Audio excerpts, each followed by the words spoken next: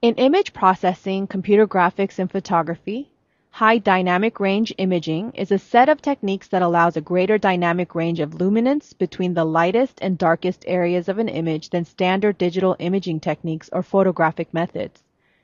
This wider dynamic range allows HDR images to more accurately represent the wide range of intensity levels found in real scenes ranging from direct sunlight to faint starlight.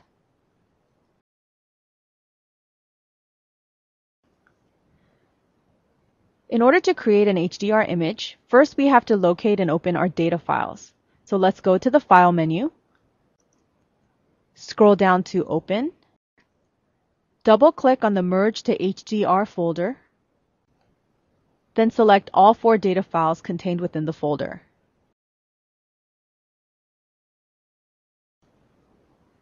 When finished, click on the Open button.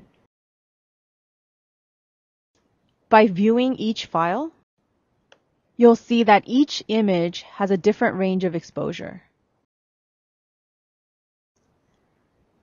To create our HDR image, let's go back to the File menu, scroll down to Automate, and select Merge to HDR. In the Merge to HDR dialog box, click on the Add Open Files button. Afterwards, click on the OK button. Click OK again to see our results. To accept our changes, click on the OK button. Let's do some more adjusting by going to the Image menu, scrolling down to Mode, and select 8 bits per channel. The HDR conversion dialog box will open up. In it, click on the Method arrow and select Local Adaptation from the list.